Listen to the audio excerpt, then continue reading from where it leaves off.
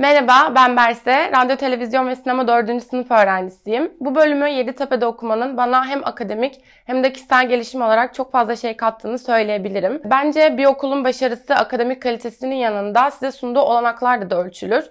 Burada Yeditepe'de herkesin kendinden bir şeyler bulabileceği bir kampüsümüz var.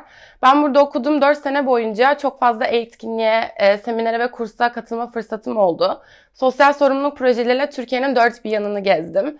Sinema kulübünün e, yönetim kurulunda yer alarak 4 tane kısa film çektim ve 20'den fazla yönetmenle tanışma fırsatım oldu. Geçen sene Hollanda'da Erasmus yaptım ve orada kurduğum bağlantılar sayesinde şu anda ABD menşeli bir girişimde iletişim yöneticisi olarak çalışıyorum. Çıktığım bu kariyer yolculuğunda ve kendimi keşfetme sürecinde okulum bana hep destek oldu.